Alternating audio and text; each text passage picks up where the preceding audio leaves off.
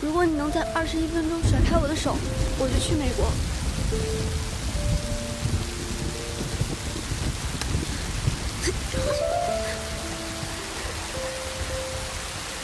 求求你别让我走，这是我们两个人的事儿，我一个人办不到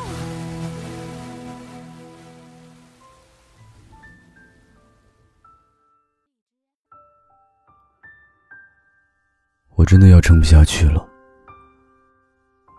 去年这个时候写下的备忘录，到现在还一直保留在我的手机里。考了多少分？你没事吧？没关系了，我们先工作，慢慢准备，二战也可以。考研失败，那些无论是出于真心或假意的安慰，对于那时候的我来说，都像是一场酷刑。被周遭人群的目光围困着，却没有一个人能拯救我。想想自己明明也不是没有努力，桌上的饮料永远是水、咖啡和茶。实在困的时候，就去窗边站着背书，吹冷风，清醒清醒。假期从来不敢提回家的事，就怕一离开自习室的位置就没了。看过清晨六点的校园。也吹过凌晨两三点的夜风。取消所有的娱乐项目，没有电影，没有零食，没有逛街，也没有旅行。每天早出晚归，争分夺秒的复习。最难过的时候，是就连崩溃的大哭都不会给自己超过十五分钟的时间。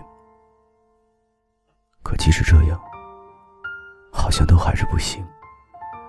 甚至于最后，就连那个说着“你好好准备考试，我会一直陪着你”的人，在我回头看的时候，也已经不在我身边了。他是什么时候走的呢？大概是怀疑，自我怀疑到他说喜欢我，但我总是会想，他说他喜欢我，那他喜欢我什么呢？看上我哪点了？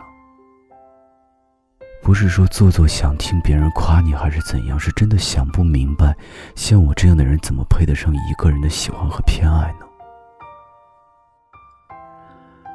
大概就是他用尽了全力向我传达了，跨越了千山万水的安慰和陪伴，可我没有感动，没有回应，只有怀疑，只有争吵。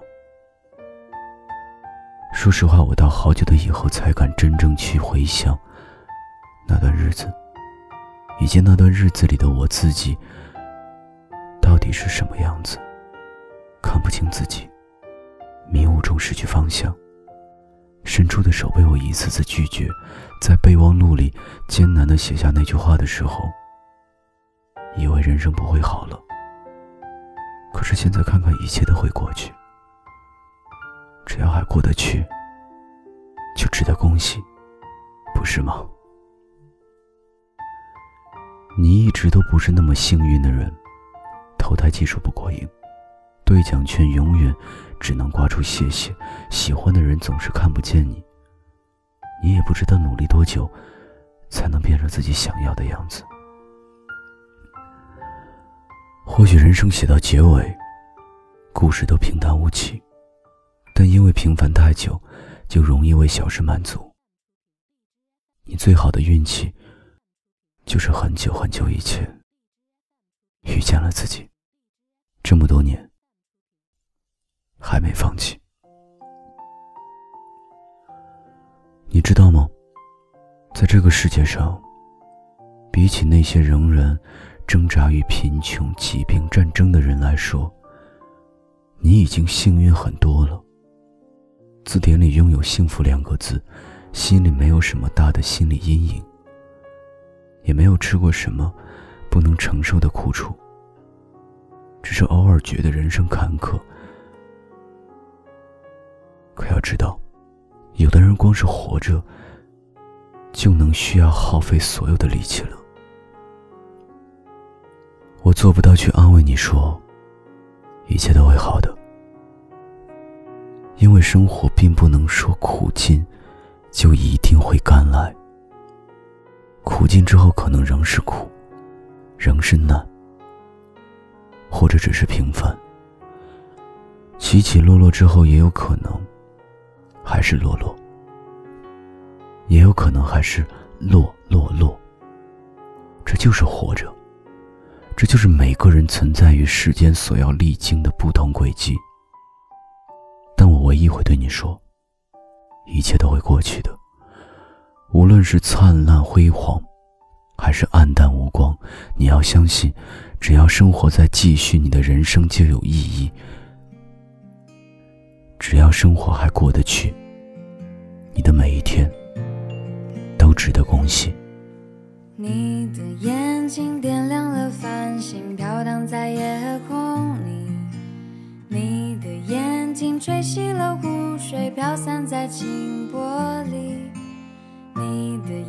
心融化了过往，迷失在故事里。你的眼睛沉醉了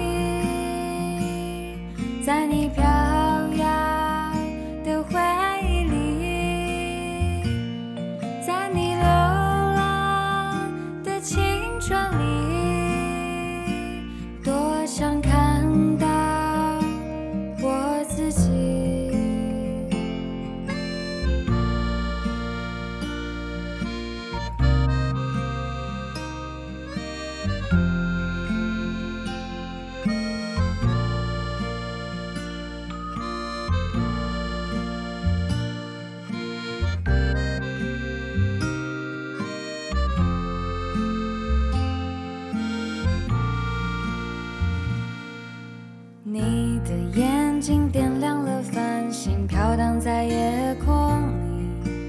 你的眼睛吹熄了湖水，飘散在清波里。